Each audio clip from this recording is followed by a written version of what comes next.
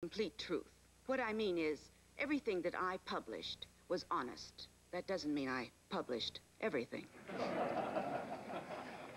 Are you acquainted with the classical and modern fiction? As a reader, yes, I am. Classical and modern, and also as an actress.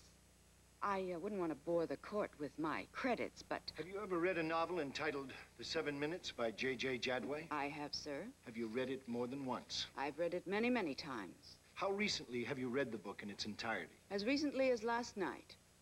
Are you familiar with the section 311.2 of the California Penal Code? I am. Do you know that the seven minutes is being charged as obscene matter under that section of the code? I do know that. Do you consider the seven minutes to be an obscene book? Uh, just a moment, Miss Cumberland. Your Honor, I object to defense counsel's question. No foundation has been laid to establish Miss Cumberland's qualifications to render such an opinion. And with all due respect to the acting abilities and other impressive credentials possessed by Miss Cumberland, I cannot imagine what bearing her opinion on the merits of this book could possibly have upon the proceedings. Your Honor, I'd like to approach the bench. Both attorneys shall approach the bench.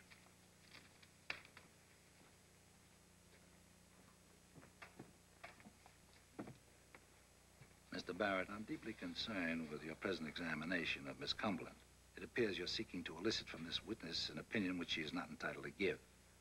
Mr. Duncan has properly interposed an objection which I mean to sustain. Your Honor, if I may interrupt for just a moment. I assure you that Miss Cumberland's testimony is critical to the defense case. I can... Your Honor, I feel the defense counsel is testing the court's patience. Let him who is without sin cast the first stone. Don't you come on. Gentlemen, gentlemen, will you restrain yourselves from this bickering? Now, Mr. Barrett, I have the greatest admiration for Miss Cumberland as an actress, but I fail to see what credentials she possesses which enables her to render an opinion concerning the seven minutes, unless, for example, she is a qualified literary expert, and apparently she is not, because you have not qualified her as such. Therefore, she cannot give an expert opinion. Your Honor, it is very... Just a moment, Mr. Duncan. I want to hear from the defense. I represent to you as an officer of the court that you will find this testimony to be extremely relevant and material to the... Then let him make an offer of proof as to the nature of the so-called material. Do you have an offer of proof to make? Your Honor, if I am forced to make an offer of proof at this time, the court is requiring me to disclose my defense to the prosecution in violation of my client's constitutional rights. This I respectfully refuse to do. But if the court will just bear with me, permit me a few more questions, I think you will readily see the relevance and... All right, all right, but I'm warning you, Mr. Barrett. If the testimony, in fact, is inadmissible or highly prejudicial to the prosecution, I will take strong measures to deal with this. Your Honor, may I Not at this time, Mr. Duncan. If the evidence is not relevant and material, you may move to strike the testimony at the appropriate time. Now, let's proceed.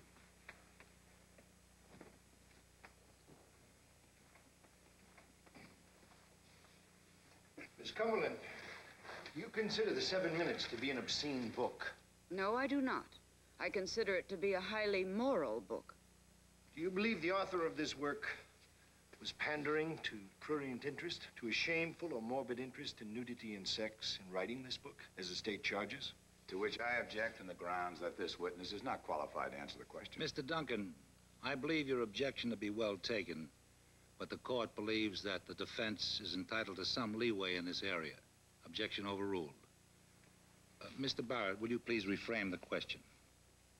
Miss Cumberland, do you believe the author was, in fact, pandering to a shameful and morbid interest in nudity and sex? I know for a fact that that author was not pandering to prurient interests. Your Honor, I move to strike from the record Miss Cumberland's conclusion and conjecture that the author was not, in fact, pandering to prurient interests. Obviously, this witness could have no personal knowledge of the author's true intentions. Uh, Mr. Barrett, I indicated that I would give you leeway, but however, if you don't immediately get to your point, the court will sustain its own objection to your questions. Very well, Your Honor. I will proceed directly to the point. Miss Cumberland, you stated that the book, The Seven Minutes, was not, in fact, written to appeal to prurient interest. May I inquire, how do you know? Because I'm intimately acquainted with the circumstances surrounding the creation and the publication of the seven minutes.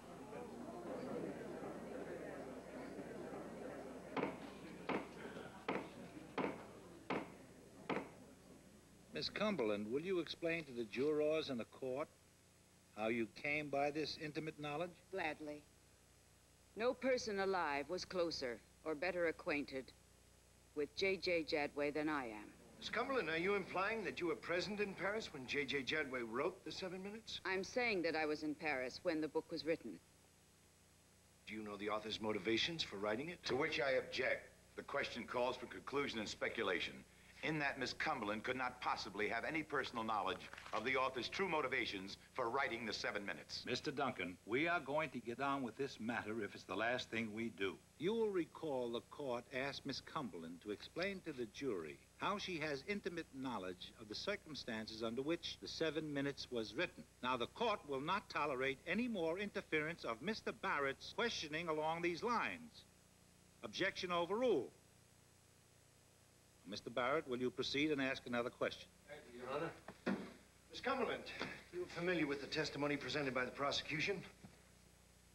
Does this first-hand knowledge which you possess confirm or contradict the testimony given in this courtroom by the people's witnesses? My information about the real Jadway and the real purpose in writing and publishing this book completely and entirely contradicts the evidence so far presented in this court. You do understand that the previous witnesses were sworn, gave their testimony under oath, and risked facing a charge of perjury if they lied. They did not lie. They simply did not tell the truth, merely because they were ignorant of the truth.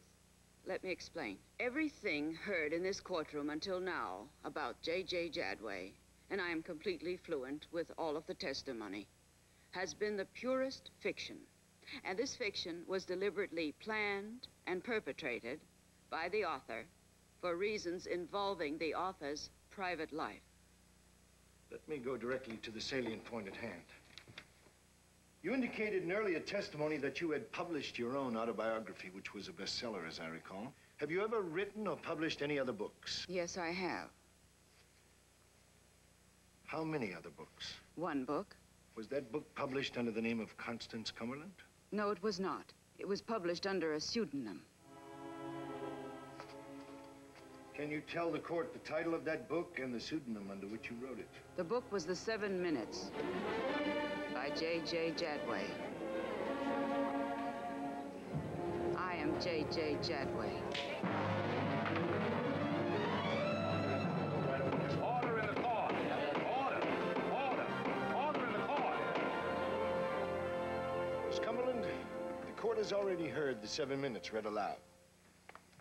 So we might more clearly determine the significance of what we have already heard. Would you mind telling us the themes and the symbols that you attempted to convey in writing the book? May I have a glass of water, please?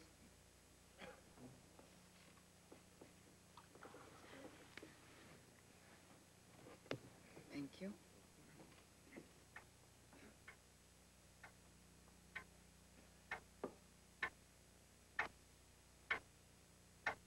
The Seven Minutes is composed of seven chapters, each chapter representing one minute in the mind of this young woman, Kathleen, who is lying on a bed having sexual intercourse with an unnamed, unseen man.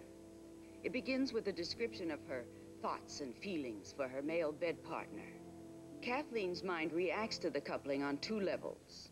On the first, she records her immediate physical sensations. And on the second, inspired by her gradually mounting passion,